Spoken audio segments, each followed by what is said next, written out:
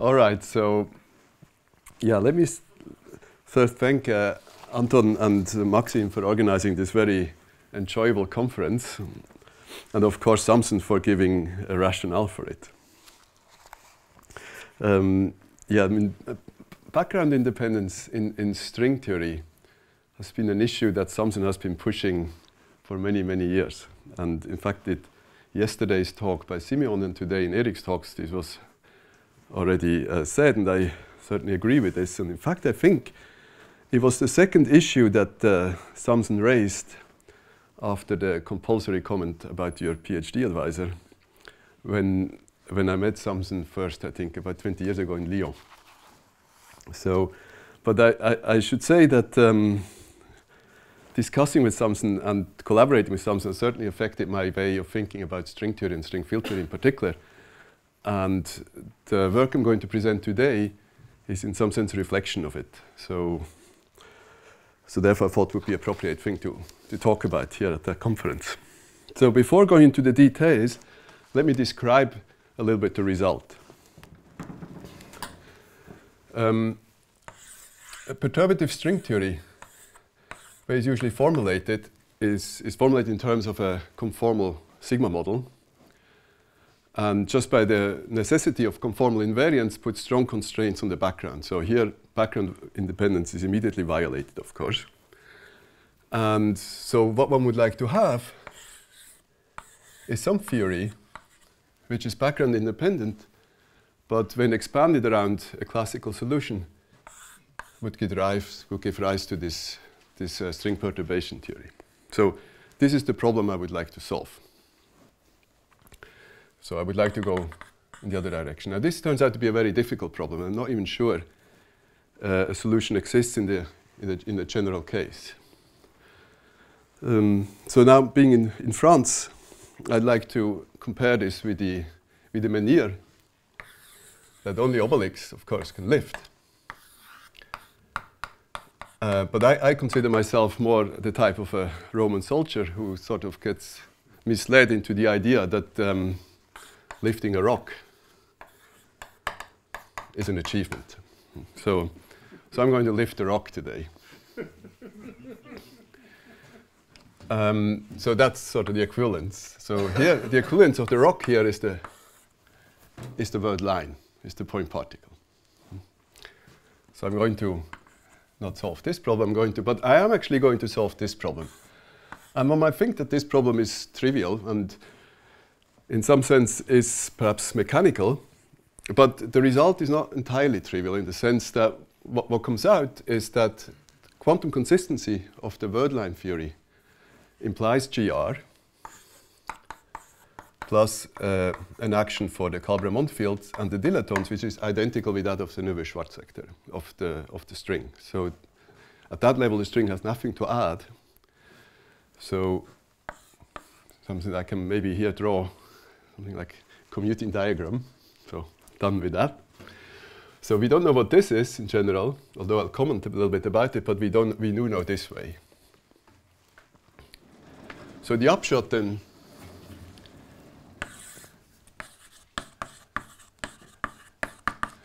upshot then is that the quantum consistency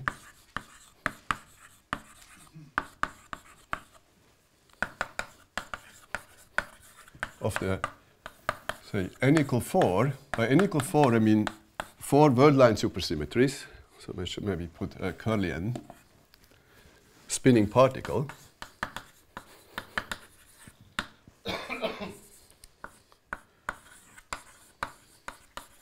uniquely essentially uniquely fixes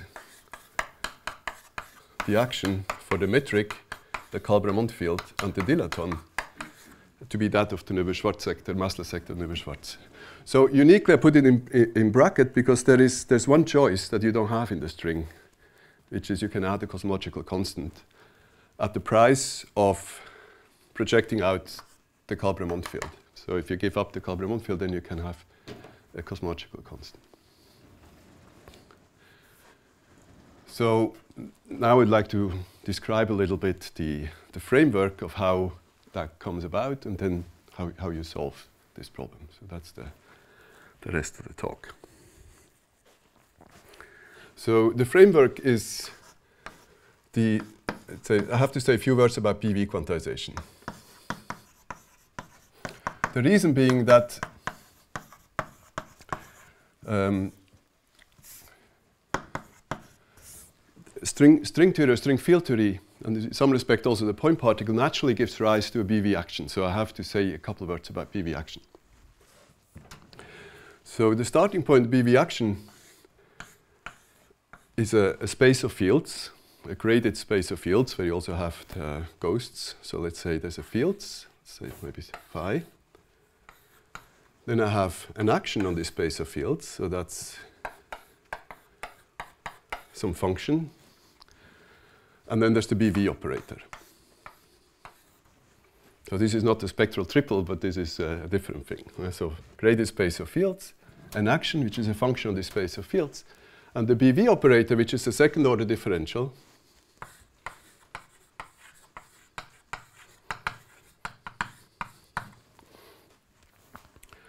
And the gauge invariance of this theory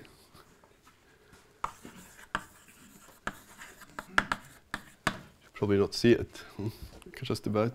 So the gauge invariance implies the BV equation, which I can write down here, which is e to the minus 1 over h bar s, BV operator e to the s 1 over h bar, which we write as s comma s plus h bar delta s, that this is equal to 0. Hmm, so this equation, so that, that means gauge invariance. Today, h bar is equal to 0, so I will only talk about the classical theory in the sense that um, no loops. So let's take h bar equal to 0. What do you mean by quantum consistency? Ah, quantum consistency in the same sense as the way that you quantize the world sheet in the string. So in that sense. So you have normal ordering of the operators and that kind of thing. That h bar is zero, but you still have to worry about quantum. No loops. Yeah, you still have to. Yeah, that's right. That's a target space. That's yeah. Yeah, I, So it's. So I, I say exact in alpha prime would be the analog statement of the string. So and this is a bracket. This is an odd bracket which satisfies Jacobi or, graded Jacobi identity. And if you talk about classical theory, the consistent of gauge invariance is that the, the BV bracket of the S with itself is equal to zero. It's an odd bracket. So that's generic stuff. Now, if you um, having this, we, this defines a vector field. You can say v of f. is some function, which I simply take as this BV bracket of s with some function f. And So that is a homological vector field. Homolo vector field in the sense that v squares to zero. And then if we expand, ah, so maybe I should say one more thing. If um, we have some additional, so that in principle that is enough to start with a B, get you started with a BV action. But here, in the string and also in the point particle, we have an initial structure which we have a non-degenerate generate symplectic form. It's odd, such that, uh, let's denote it by omega, such that delta written as omega ij in components di dj.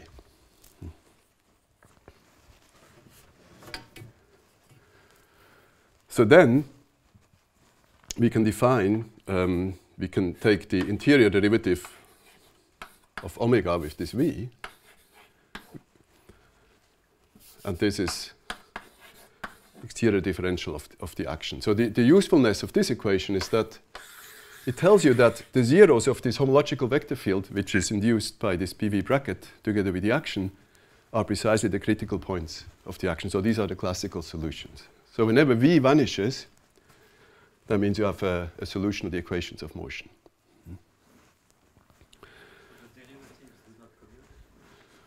Derivatives, these ones, no, they're odd. For the- these are graded fields. So yeah, so they're not. Um, so I should probably put a bar or something like that to make it. So maybe I'll write it here.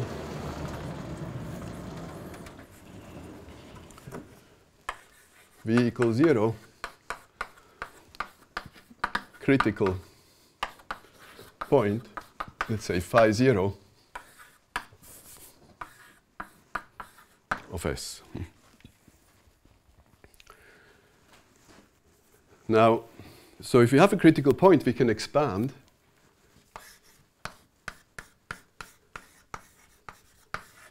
We say V is equal to V say 0, phi 0, which is equal to 0. That's the vector field at the point to Taylor expansion.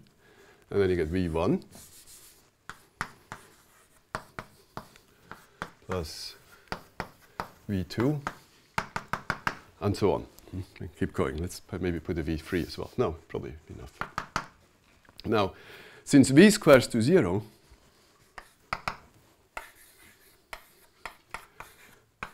this implies some structure on this on, on these coefficients in this expansion. So first I should say what these are. I mean this is just this is let's say this is zero at the point. So this is a map.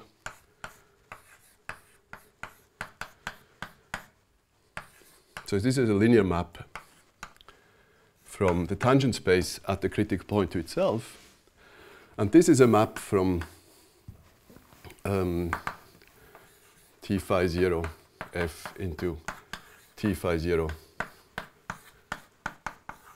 f squared, mm, and so on. And this keeps going as you go to the higher order terms. So, so you can take the dual version where these are maps from, this, from V tensor V into V, where V is the vector space, and so on. So you can go either way. The point is, though, there is some structure on these maps, and the structure on these maps follows simply from v squared equals 0, which is just a consequence of the way v is defined as coming from the BV bracket. So this is all, in some sense, uh, consequences of, the, of gauge invariance. And what it implies is that the VI's, i bigger equal 1, they satisfy what is called a L infinity algebra. infinity algebra simply means that if you take the commutator, say, say this is a linear map, this is already, as we see, 2 to 1 or 1 to 2, depending on how you look at it. So if you take the commutator,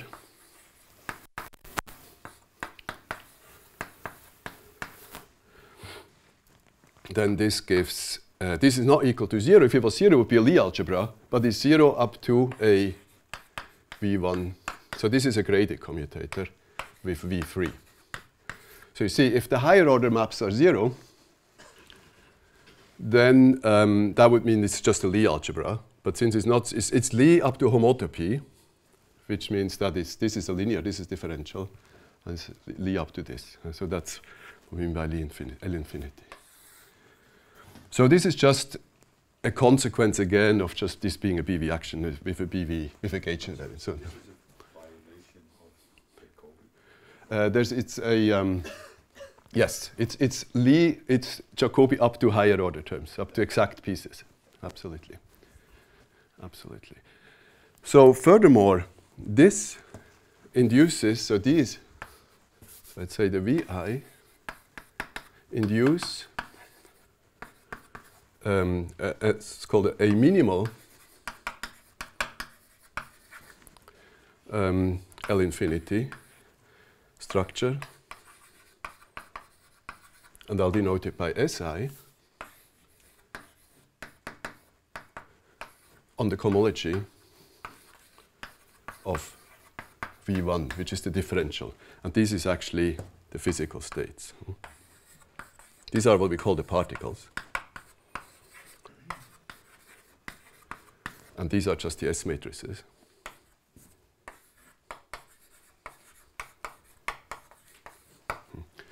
So th this is all sort of descends straightforwardly. You start with gauge invariance, you get, a, um, in this way, a homological vector field, you expand it around the critical point, and that induces a, um, an L infinity structure on the cohomology, which are, the, are the, the S matrices. So now we can perhaps put that here.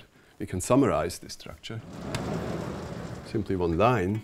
So I take S, I have F, that's what was my starting point, space of fields, some BV action, a, a BV operator. That gave rise to a homological vector field. That in turn gave rise, upon expansion, to the VIs, which is this infinity algebra. And then this, they're not really maps. Hmm? And then this gives rise to the SIs on cohomology. So this is where string perturbation theory is defined. In string perturbation theory, we compute S matrix elements. That's what we know how to do using the Worldsheet conformal field theory. String field theory, as defined by uh, Zwiebach, would be here. So in string field theory, one tries to recover the vertices. So these, I should say, in, in if you did uh, any, any field theory, these VIs would be the vertices of, the, of your Lagrangian, which would give rise to the S matrix elements. So in, in so the Zwiebach's construction of string filter, you try to reconstruct vertices which give rise to the right S matrix. But these are defined away from the cohomology, so these, that's why you can compute off-shell amplitudes. But what one really would like to have is this. You would have, this is still background dependent because all this is expanded around one point. Mm. So only once you get rid of this point phi zero, you can truly speak about the background independent formulation of string theory. Now, Samson gave, based on earlier work by Witten, and we've seen this in Eric's talk, Samson gave a, a showed that there is a formal um, expression for this, um, for the background independent version of this for the open string, which he showed to be non-ambiguous. So that was this 93, I think. So, and I think this is today perhaps the only background independent version of string field theory we have. I mean, it has its limitations, but it's the only one really we have for the open string. It had only one limitation, which was I could not do the uh, ghosts, uh, Correct. ghosts and matter not decoupled yeah. case, and it's still open. Still open. Yeah. So, so that's where I go. First of all, I will not do the open string. I will do the closed string, and I don't do the closed string. I do the the world line make my life a little bit easier. And I want to show in the world line you can get a manifestly background independent formulation, which contains uh, quite a lot of information about string theory. So that's, that's basically the content of this talk. Are there any comments or questions at this point? Let's see if I forgot anything important. Probably. Well, maybe the comment is just that um, no, I think I'll. So what we really like to do is we'd like to go from, we like to go here. So that's, that's the aim. So that's, that's this question mark up there. Okay, so then um, let me introduce the, the spinning particle. Think this can go.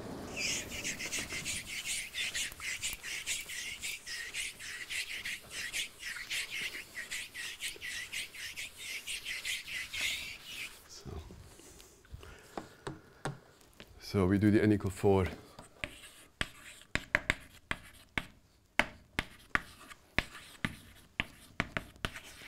And let me simply write down the action for it.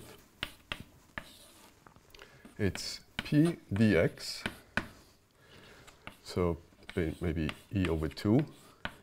So this would be just a bosonic particle. Mm, so you have the, the coordinate, the momentum, and then the Hamiltonian. There are metric enters here, indeed. So that's a space-time metric enters in this bracket. I didn't display it, but it's there. Was it the blackboard? As the background metric, yeah, absolutely. So this is an external field, if you wish, for which we want to derive equations in the end from, from consistency. So then we have, uh, since it's supersymmetric, I say um, the I and then I have to gauge it and make local supersymmetry. But this is the E is taking care of, uh, this is the Einbein taking care of the world line reparameterization invariance. And then this, since I'm doing supersymmetry, I, I need an analog for the, the super uh, translations, which are super, super, so it's one-dimensional supergravity. And then plus bar I So this you can think of, so this is the super version of the Einbein, the super partner, and these are the supercharges.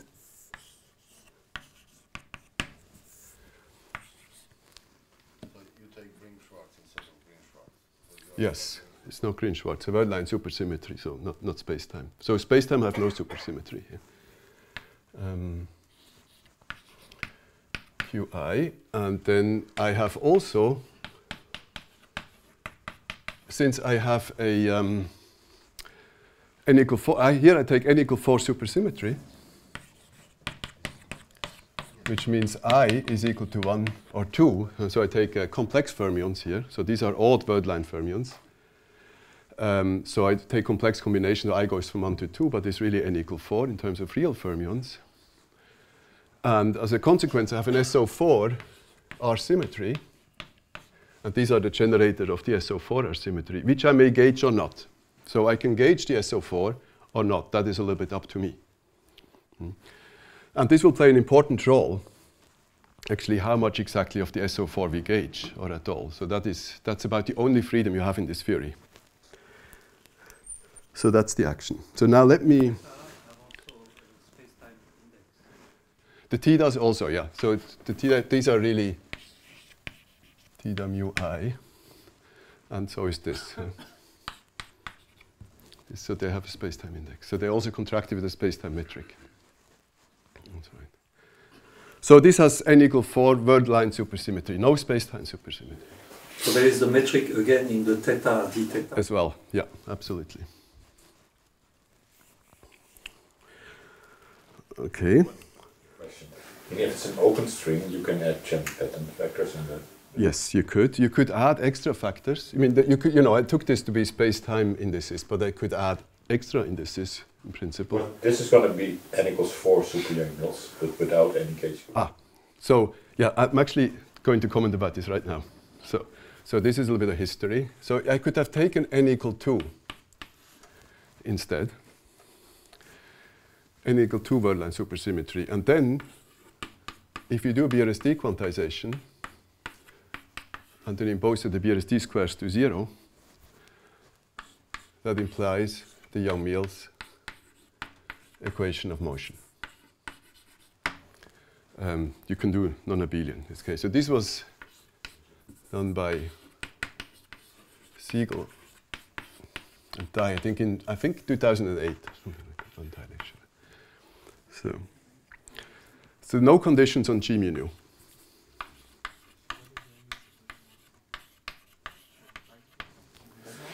But these three linear theory, I mean, do you get the full? Fully nonlinear Yang-Mills. So how do you couple Yang-Mills? Ah, I will, I will, t- so here is the summary, but I will, I will show it later. Actually, Berkovits before that did Green-Schwarz and proved that it's unitary equivalent to Neveu-Schwarz for, for, for particle. hmm And then derived from it uh, the space-time equation 10 dimensions. Is that the kappa symmetry? Right, with the kappa. No, there's no kappa symmetry. This is not What I think supersymmetry. saying is Berkovits mapped the Green-Schwarz for superparticle Yeah. into his stuff. Oh, I see. Yeah, yeah. Th- okay, this. Yeah. Remember Drummond, uh, James Drummond was teaching us about that Yeah. 20 years ago. So n equal 4, again, you can impose this, and this gives you i- the uh, equation of motion for ns sector, of for m equals 0, so the massless ns sector of type 2.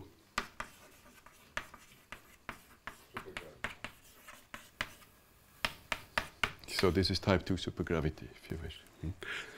Um, so why n equal 4, y n equal 2, we will see in a moment. Uh, So, so basically the story is that n equal 2 is the, the particle that corresponds to n equal 2 is, is a photon or a gluon. cannot couple to itself in a gauge invariant way unless it is uh, around the classical solution, but it can couple to gravity. Graviton cannot couple to itself unless the, the gravity equation of motion is satisfied, linearized. So, uh, so that's sort of the hierarchy of things. So this is, by the way, with uh, Roberto Bonezzi and Adiel Meyer.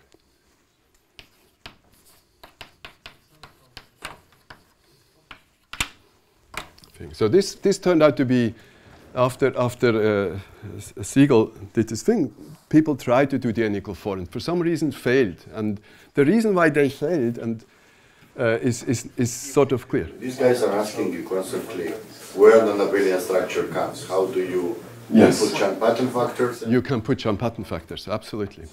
Eric, he's saying you we have to put Chan-Paton. You put, you know, the, yeah. Yeah, yeah, yeah, but how do you do my, on my point? I don't have endpoints. No, the T does that. What happens is the, the, the we, we will see in, in le- let me maybe go a little bit and you'll see it in, uh, very quickly, very shortly. You will see it very shortly, how that works.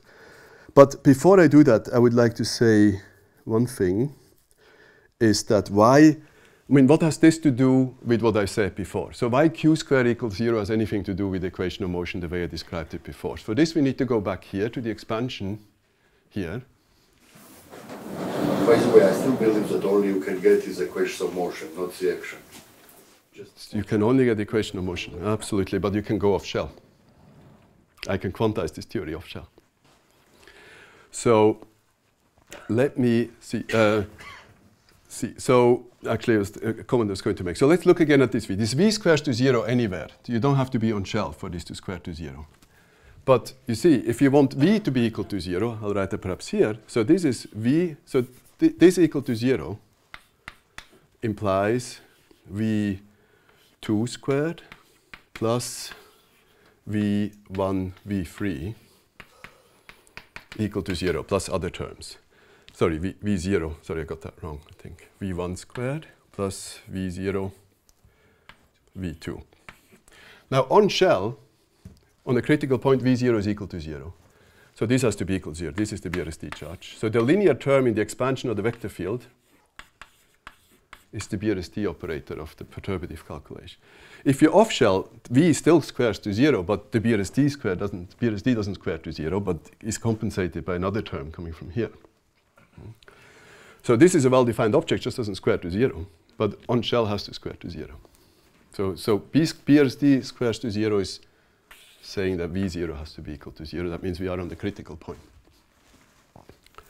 So that's the connection between the BRST quantization on the um, and, and, and the BV quantization on, on- in space-time. So now coming to um, Samson's question, or comment rather. Samson doesn't ask questions, he makes comments. Rightly so. I don't do that anymore either. Um, let me uh, put that here, perhaps. Um, so, what does that have to do with the action? And I agree, this doesn't give you the action.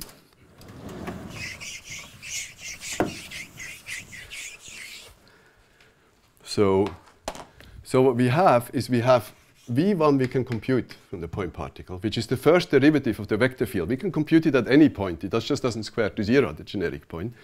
So in principle, you can integrate from phi 0 to phi. You can get the v. But of course, where this is integrating over the field, of course, there are questions here. This is formal because you have to choose a path. You have to make sure the thing is perhaps path independent and so on. So, but once you have this, if you have v, you know, then we have this IV omega is equal to ds. Since the symplectic form in this case is independent of the background, this is a constant thing. So you can integrate once more and you can in principle get S. But of course, in principle. So you get the equations of motion for S. Yeah, but I mean, this equals zero. Yeah, the, I mean, the V equals zero gives the equation. Yeah, gives you the equation. Of of- the on-shell data, it's not the same as the that's the on-shell data. Equations of motion are the on-shell data. Um, I get the first derivative of S. Would you agree? I mean, IV with omega is the first derivative of F, which S, which I can, of course, formal, but can can be integrated. So this is just to address this comment by Samson. Okay, but now let me describe a little bit what has this to do with Chan-Paton? How does all this stuff enter? What is so let me describe this.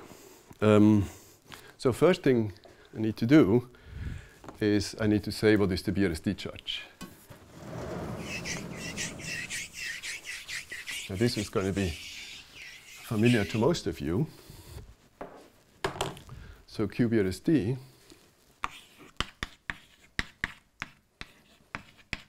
is equal to C times the Hamiltonian plus gamma i q bar i plus gamma bar i qi plus gamma gamma bar times b. That's the structure. So this is the super ghost, the gamma. It's the world line ghost now. It's just the C is the reparameterization ghost, and B is the uh, the conjugate to C.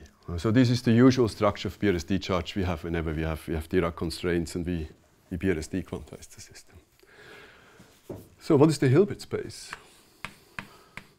Hilbert space is functions, let's say square integral or perhaps a little bit less if you want scattering states on, on space-time times Weyl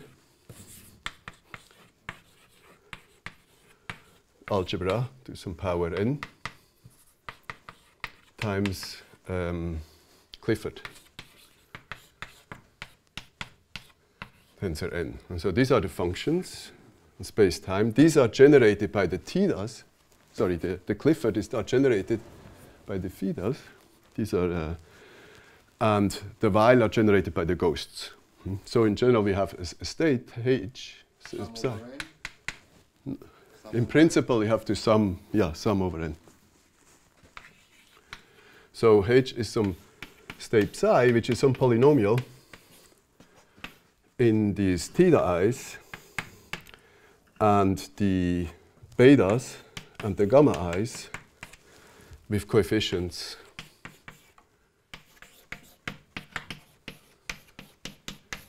in L2 of RD. These are the functions, so the wave functions. So, but they do not depend on theta bar, the beta bar, and the gamma bar. And they do. These are not the states. They annihilate the, the vacuum, the, the highest weight. So the thing is now you could say, okay, this is my Hilbert space, and I just want Q to square to zero acting on this Hilbert space. And the result is it's never going to square to zero. Not even in the n equal 2 case is going to square to zero. You have to restrict the Hilbert space. Otherwise, it only squares to zero in zero background field. So the only solution is zero background. Please remind, when is the 10 dimension coming to business? n equal 4 requires 10? Dimension is free. I can do for any dimension. I mean, up to uh, 1, 2, 3, 4. One maybe not.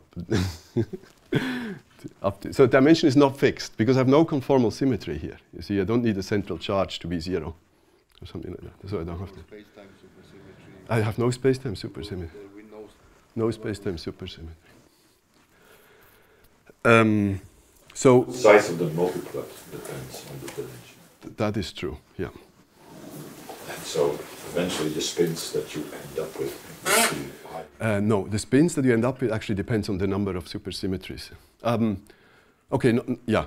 Mm, Okay, let me explain it right now, actually. So the thing is, so now we have to restrict this Hilbert space, otherwise you get exactly zero background fields. And the only way you can restrict the Hilbert space is by gauging some of the SO4 R symmetry which you have. So let us explain a little bit how that would work. So a generic state in H will be of this form.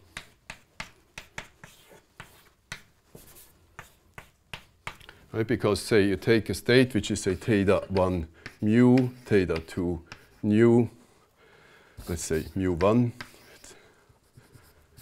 mu 1, theta 1 mu 2, theta 2 mu, nu 1, theta 2 nu 2, and so on. So it has to be antisymmetric in mu's, has to be antisymmetric in the nu's. I have a naive question. Yeah. If I think about this as the, the zero slope limit of strings, hmm point particle limit, then am I not in the Ramond sector? Ah. It's a good, it's a good question. So let me, you, you can relate it to the zero slope limit. I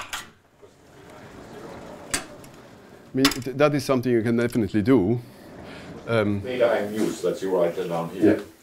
So there's two things you can do. You, you could do that, what do you suggest, or what you can do is you can do a, a twisted uh, reduction on, on, the, on the worldsheet in this sort of space direction.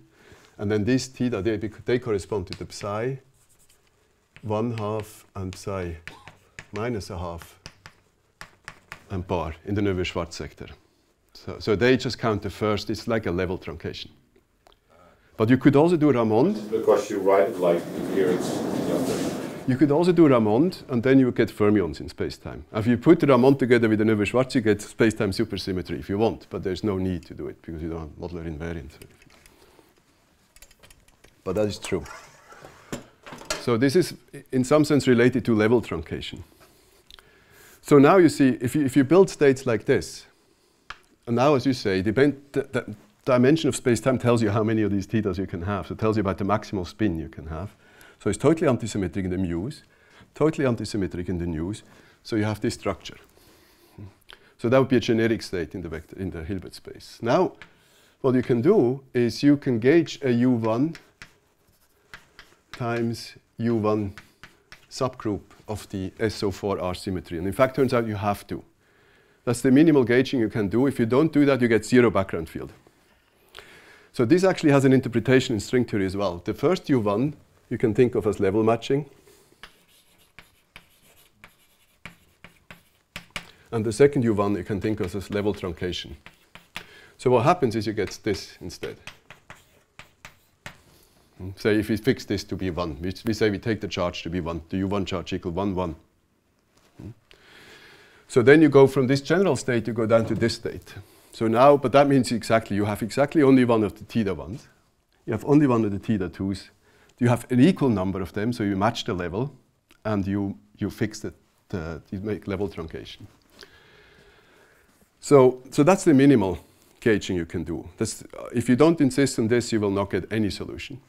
But you can do more. You can symmetrize this thing.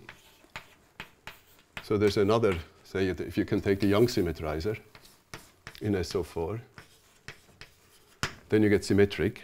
So that projects out the B mu nu field. Then the Kalb-Ramond field is gone. And because of insistent symmetry between mu and nu, Kalb-Ramond is out. And you can do one more thing, which I think you cannot do in string. You can, there's a trace, what they call the trace in the SO4 generators, which removes the trace. And that means that, so here, let's say here the B mu nu is out. So this, and here the dilaton is out.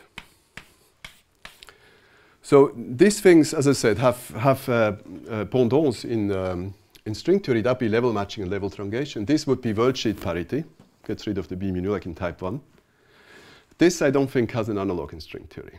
But we can do it. And that's, by the way, the reason why you can get the cosmological constant for the point particle and you cannot for... Actually, no, it's not true. This is 3. Sorry. I take this back. Not correct. So we have a little bit more freedom. Symmetrize to get a non-gravitation? Um, do you mean to not insist on this one? I think not. So you want to keep the B mu nu but get rid of the graviton. Um, my memory is that we haven't succeeded in it. Maybe we didn't try hard enough, but I, I don't think we were able to do that. I think the graviton. No, actually, the thing is, if we gauge completely as SO4, the graviton is left. Yeah, I don't think you can get rid of the graviton. It's impossible. So, so that's the structure. You see, we have a little bit, we, have, we don't have much more freedom than in string theory, but a little bit more freedom because we can get rid of the dilaton. That's about the only thing which we, we can do. So how do you write on symplectic structure out of all this? Or you, I yeah. Usually you take uh, scalar product and R, RD times uh, usual Are you using it or you will be de deriving rather the equations of motion? um, equation of motion. We come straight to equation of motion. From q squared equals zero, we give you straight equation. So if you do all this, let's say, let's take this maximal gauging, then the generic state that's left is a h mu nu, theta 1 mu, theta 2 nu, plus there is some psi mu, theta 1 mu, beta 2, minus theta 2 mu, beta 1, plus anti-fields, plus auxiliaries. So this is what I was saying at the very beginning. Whenever you BRST quantize and you look at the cohomology of the point particle and the same thing in the string, you automatically end up with a whole BV multiplet. It just comes, it's given to you right away. So I don't see why. I mean, if I act now with Q on this state, don't I get gamma one, gamma two? Uh, because each. Uh, Yeah, okay, I, I will, I will say a word about this, yeah. So this is, so this is the graviton. And this is the diffeomorphism ghost, space-time ghost in, in the BV uh, language or BRST. So this has ghost number, uh, this has the wrong ghost number to be a physical state. And this has ghost number zero, this has ghost number one. And now you have, so you have specified the Hilbert space. It is maximal gauging. And then now you want to see what happens to the BRST charge. So how do we couple the, the system to these background fields? And for this, um, I, I just tell you how that works. I mean, the generality is a lot of formulas, but let me just describe a little bit how this works. So the generic procedure is you take the supercharges, you always start with the supercharges, and you couple them to the background fields by changing derivatives co- to covariant derivatives. It's as simple as that. And the first thing you have to check that the supercharges commute into the Hamiltonian, like in Dirac. And the next thing you have to check is that the Hamiltonian commutes with the supercharges. Now you might say this is automatic because Hamiltonian is Q with Q bar, and then Jacobi identity gives you that Q with H is automatically zero. But it's not true because we're working on a constraint system, on the constraint Hilbert space. So just before, because uh, Q Q bar on a constraint Hilbert space gives you H, doesn't necessarily mean that Q with H on the same constraint Hilbert space gives zero. So you have to check it separately. But you do it. So let me say coupling to backgrounds. So what we do is we start with the supercharge, Qi, remember the supercharge up there, Qi, which I write as theta i mu, take usual derivative plus spin connection, um, and then theta a, theta bar b, slightly antisymmetric, and say let's leave it there for the time being. And then you have the same for the Hamiltonian. You take it, uh, let's say this is equal to d, covariant derivative. hmm? Then the Hamiltonian is equal to d mu, d mu. And you might say that's perhaps good enough. Now you compute, you see, now you compute simply q squared. So you square the BRST charge. And what you get is, um, let's say, let me combine these two things. These two together, just to simplify notation. So Q, I denote them as the combination of the two supercharges as S. hmm? And then I'll find that Q squared, so this is the BRST charge squared, is equal to S squared plus gamma gamma bar Hamiltonian plus C times commutator of Hamiltonian with S. Now the point is you get two terms. This has a C goes, this doesn't. So they have to separately vanish. Hmm.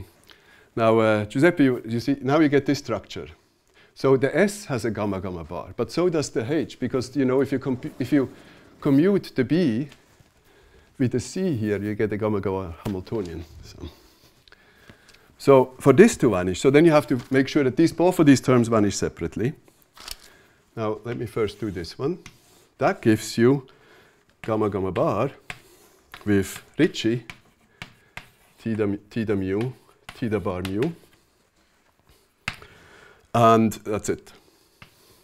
So now you see that gives you a Ricci flat. So this is zero only if the, if the, the background is Ricci flat. So you get a Ricci flat. Now there is a little bit um, ah, so that's part of it. Then you have to check is this is equal to zero. And if it's not zero, you have to add some non-minimal coupling in order to get this to zero. So even on Ricci flat, in order for this to vanish, you will have to add a non-minimal coupling, which is like this. Uh, somewhere I have it. Plus r mu nu, lambda rho, theta mu, theta bar rho, uh, nu, theta nu, theta bar rho. So this is a non-minimal copy, which is, um, um, you know, uh, imposed on you by imposing that this is equal to zero. But turns out there's a little bit of freedom. One thing you can do, you can add a non-minimal coupling to gravity.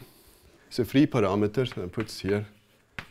And then if you restrict that on the Hilbert space, you'll find that the condition you get is r mu nu is equal to lambda g mu nu, and g mu is free parameter, so you get de Sitter, anti-de Sitter Einstein spaces. So this is the most general solution you can get in this maximally gauged SO4 uh, Hilbert space. So you get just Einstein is the only solution. No, with cosmological constant. Um, so now you can say, okay, now let's be a little bit less restrictive. Let's perhaps bring in back um, the B mu nu field. Let's not impose this strong gauging. Let's, let's stay here, just do the U1 times U1 gauging. Then you have to modify, you add a coupling to the Kalb-Ramond field, minimal coupling. And again, you will have to add some stuff here, which I'm not going to display because it's a little bit uh, cumbersome. But again, you get it to zero, but only surprise, you will only get a solution if, um, see where can I put it, perhaps here.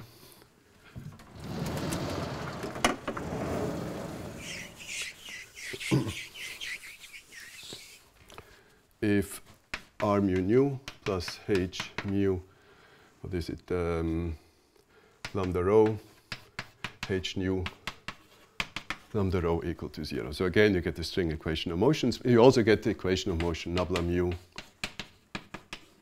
equal to zero. Hmm. So if you allow, because now the restriction becomes a little bit stronger because you project on a, on a bigger space, so you get more equations. So this is, but this thing you can more or less infer from string theory what you should do. You know, this is sort of natural thing to do. You couple it non-minimally, to, uh, you, you, just introduce a spin connection. This is also more or less, um, oh, actually here it's not correct what I'm saying. Here I should say it's theta 1a, theta 1 bar a b minus theta 1a, theta, theta 2a, theta 2 bar a b. So, you, know, you, you, violate the, that's where the symmetrizer comes in. You violate the 1-2 symmetry, which eh, from string theory is also understandable because your left movers and right movers couple differently to the B mu nu field. So is, you could sort of, from string theory, you can sort of infer that this should be the right coupling. So, but what about the dilaton? So you might say, well, does the dilaton, I mean, dilaton appears in the spectrum, so somehow it should be able to couple, but how does it couple? Now, first thing you might think, String, in string theory, the dilaton couples to the Virchow curvature. There is no Virchow curvature here, so cannot couple. And you can say, well, you know, that's sort of derived. Really, the dilaton couples to the divergence of the ghost current. That was the initial coupling for dilaton. There is no divergence, there's no anomaly in the ghost current here. So you, you might think, uh, not quite clear how to couple. So for the dilaton, it took us a long time to, um, just by trial and error, to see how can we couple the dilaton to this point particle. It uh, turns out there's a way to do it simply by d mu phi. So this is like akin of the Weyl, Weyl's idea of how to remember do electromagnetism with, with, with uh, in gravity. So this is a non, non-Hermitian. You see, it comes, doesn't come with an I here. It's not a gauge. It's not a U1 gauge field. It's a sort of a R1 R1 gauge field. But this works and again gives you a modification. Of course, so then you get uh, here, you get on top of it, you get the d mu, d mu phi. So you get again the string equation of motion. When you've done that, you can project out again the B field and you can add the cosmological constant. So there's the moment the B field is gone, you have a little bit more freedom than in string theory, which is you can add the cosmological constant, but that's it, no more. The moment you have the B field, you, you get exactly the low energy equation of motion from from the Neveu-Schwarz sector of type 2. So um, I should probably wrap up. But so we, we, see really the point particle contains all the information about uh, the massless sector of, of, the string. So you don't really need the string to derive Einstein equation. You can just quantize the point particle. You know. But you also get that h mu nu satisfies the linearized Einstein equations from the Ah, yeah, that comes from, yeah, I will say something about that right now. So the next thing you might say, but what about the states? how do I get states? I mean, I want to perhaps do some scattering. Well, in string theory, we know how to do scattering. We simply use the operator, uh, operator state correspondence and insert an operator at the origin of the complex plane, and then that's it. You'd say, well, this is a point particle. There is no such thing. Turns out there is such a thing. And the way you do it is simply, in order to get a state, so states, so let's say one particle state,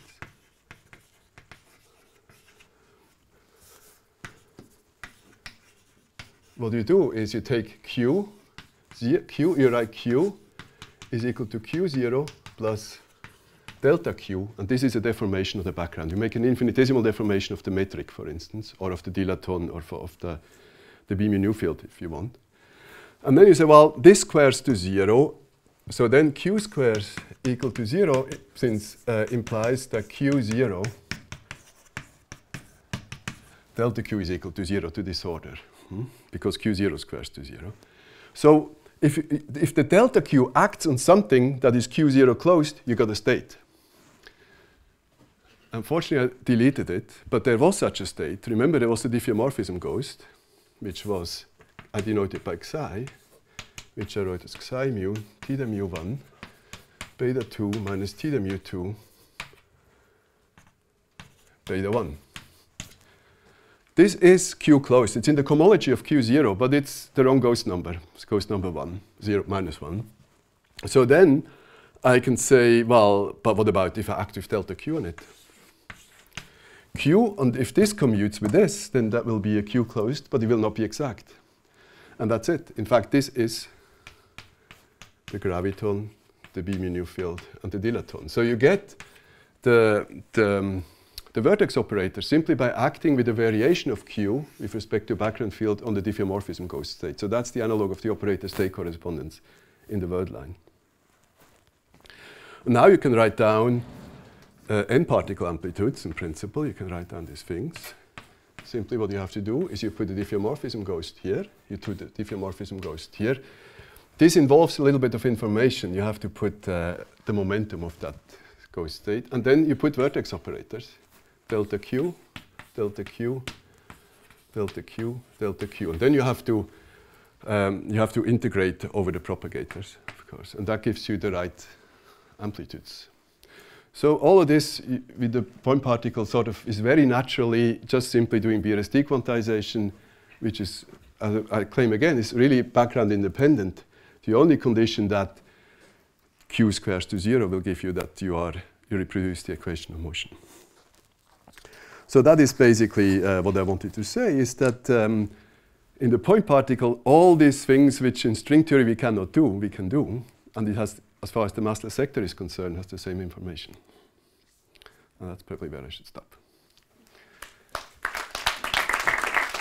Thank you very much. Question? There's a comment. This time it's a question. Oh.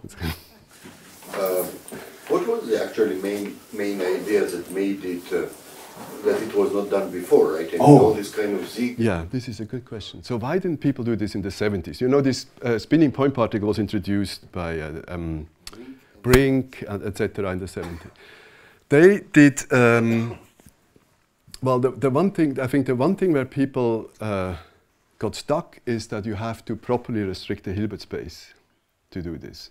And that is, I think, is thanks to Warren Siegel, who had this uh, first suggestion in the n equal 2 case to introduce um, this restriction. And but when you come from string theory, it's somehow the opposite thing to do because in string theory we also restrict the Hilbert space and we do level matching. We immediately restrict the Hilbert space.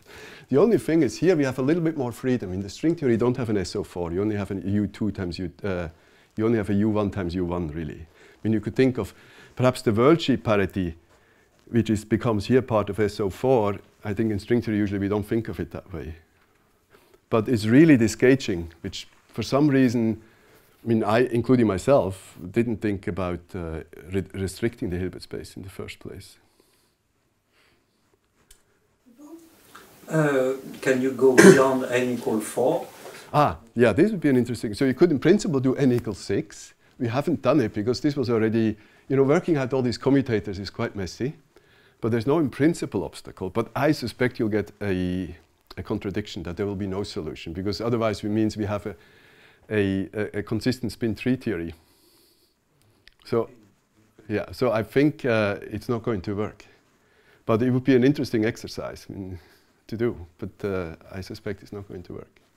Chris? Yeah, so my question had some overlap with that, but there was um, some paper, a series of papers from the 80s from, by Paul Howe, Paul Yeah, Townsend, yeah. And, and collaborators, where they looked at general numbers of supersymmetries. So for n supersymmetries, they found they got uh, a maximum spin of n over 4, Right. n over 2, so that if you went to n equals 8, you would expect they would, you would get spin 4. Right. And they, they went through this, they restricted the Hilbert, essentially, they put added constraints, which I think corresponded to your restriction on the Hilbert space Maybe. and they got the um, the, the free uh, wave equation for Right. spin four coming out, or for Yeah. arbitrary spin. They looked at various generalizations, including generalizations including masses and various Yeah. other representations. And so the question would be then, which was very close to what was just asked, that um, given that, that, that it works at least at the free level, what would happen if you tried to implement your Right. program in that? Yeah, I think with the free level, in, indeed, you can do in principle for any n, and exactly as you say, the spin is n over 2. For n equal 4, you get spin 2, and accordingly for higher. By the way, for spin 1, you get fermions. For spin 3, you get uh, the gravitino. and so on. Uh, for n, n equal 3. Uh, but indeed, as you say, the thing is, the, the, the Q0 will always square to 0. But the moment you try to uh, couple it to a background field, you will find that the Q only squares to 0 when the background field identically vanishes. Uh, and here we just found a little bit of a way by suitably restricting the Hilbert space that you can do it. But that's really where I think that's where you will fail. The moment you try to couple it to background fields, it will just not close anymore in algebra. I think that's what, what will happen. But mass, by the way, adding a mass should not be a problem. So I think we can add, we, we didn't try that, but you could probably add a mass to the graviton. And I don't know what's going to happen. Maybe again we end up with an inconsistency. Maybe not. We haven't tried it. Free level. Will always work. It's only once you couple it to background fields that you will uh, you'll get punished. Yeah. So it seems that you can get pretty much any free particle in Yeah, free particle will not be a problem. Yeah. Or, or like symmetric space, I mean, uh, nice spaces without uh, Yeah, yeah, it has to be flat probably or something similar. something simple. Otherwise, you'd be constructing a coupling of um, spin four to an arbitrary Yeah. metric, which you know No, those but issues. if, if the metric is not arbitrary, it's just a Yeah. Constant curvature background of some type. yeah, maybe in anti de space, you might expect there to be a solution. Yeah. But, um, It's still, i- i- it's still the uh, expansion. You you don't get uh, the background. Yes, I do. I never put in an expansion. I just this coupling is, you know, this coupling. Where is it? I've, I've deleted it now. But I, the spin the spin connection is not linearly coupled. Is is, is fully nonlinear coupling. This is the full nonlinear coupling. I mean, there's nothing to be added. And I don't get linearized Einstein equation. I get the full Einstein equation. after that. I mean, I get you know r mu nu equals zero, but not linearized. non-linear. So it's not like expansion of. No, no, no. So that is it's really fully background independent. Did you work in some uh, Riemann normal code? No, no, no, no, just completely co- co- co- coordinate invariant. We didn't use coordinates anywhere. He says that he just writes h mu nu and then he, he pops up uh, the, the r mu nu round net equals zero pops up. So he just puts h mu nu as a coefficient of that. Uh, But you have to prove the cubic vertex, for instance, is the one of. This when I, when I couple the covariant derivatives, right? So the, the, the coupling comes through this d mu plus omega mu, a b, theta a, theta bar b. So that's where the coupling comes in. it's not the word nonlinearity. How did nonlinearity start? Yes. This is a nonlinear object. Omega is not linear in H. Yeah, but the cubic, the fact that the cubic term in Einstein's is given by this is. I mean, this has of course a, a, a linear contribution, but in you know, is is I mean, is made out of the inverse Vierbein, and so it has no expa- I mean, it's fully nonlinear. But it's true that the minimal coupling is almost sufficient up to these nonlinear terms, which uh, these non-minimal couplings, which I guess we don't have anymore here. But I had to add this non-minimal coupling to the Hamiltonian, which was I had to add h was somehow box plus r mu nu lambda rho theta theta bar theta theta bar. Things like this I have to add to the Hamiltonian for the system to close. So it's non-minimally coupled. Such terms pop up. Otherwise, just Q will not square to zero if I don't have them. Or even on shell. But this is perhaps, I mean, Uh, I think you can even understand this from string theory, probably, because uh, indeed, if you if you were to write down the sigma model in generic um, background metric and use some Riemann normal coordinates, such terms will probably show up. I think so. But for instance, do you prove that in an amplitude, if you make a gauge transformation on the external states, this is the same? That's part of the BV thing. Yeah, yeah, yeah. Because in string theory, that's the way you prove your full Notion Einstein. of Uh, how sorry, this last part? That you are gauge invariant, I mean diffeomorphism invariant for the graviton states. Yeah, that's right. Is it part of the BV formation? That is part, yeah. So, I mean, basically, the statement is that if you take um, take Einstein-Hilbert action and expand it around R of G0 plus terms, and then you linearize, right? So you have, let, us write it as S0 plus S1 plus S2 in expansion. So this is the, the quadratic term in the expansion. And if you want this part to be gauge invariant, diffeomorphism invariant, th this linearized part, you need this one to be equal to zero, so you need to be on shell. So basically the statement is a graviton only makes sense. I mean, it doesn't make much sense to talk about the graviton if you're not expanding around the solution of the equation of motion. There is no such thing as a graviton. Not, not as a diffeomorphism. Now I have a comment, not a question. Can I, yes. can I make comment? You can make comment. I'm not the first. Background dependent. Why? Because notion of metric is a choice of background in string theory. String theory. No, in string theory, of course, would be background, but in, in point particle notion of metric no, is. Here, no, no, I know, I meant. No, no, in string theory, of course, there may not be a metric in the first place. In the generic background, I agree. Definition of string No theory, space. there is no word metric or no word gauge field or something. When you say word metric, you pick the background. Uh, When I say space-time metric, I choose a background. In string theory, yeah. So I agree, that's... Sigma model is a large radius. Yeah, yeah. I mean, I mean, that's why I was saying probably in the string theory setting, it's perhaps even not possible to, to, to write down a background independent action in the full string theory. For Closed, string- for closed. Closed. No, open. I For open, maybe possible. actually, For open, Remember, he wanted to consider string manifold where uh, the third, whatever. I mean, the, the reason why it works for open right, is that in the open string, whatever you put on the boundary in your thing is induced from the bulk, and the bulk is solid. The bulk doesn't change. So you know at least what is the what are the set of vertex operators, what is the Hilbert space. In the closed string, the moment you go away from background, you don't even know what is the vertex operator, what is the Hilbert space, you lose everything. Well, if you would have three manifold where the two manifold is a boundary and That would be very nice. But that did not work. Maybe that's what Eric is trying to do, starting from this Chern-Simons thing, to start from three. We discussed this at that time. And we give up. We get ah, Too many. Okay. Never late. Good. Well, excellent. I think it's an opportunity to thank uh, Ivo again and also all the speakers of the day.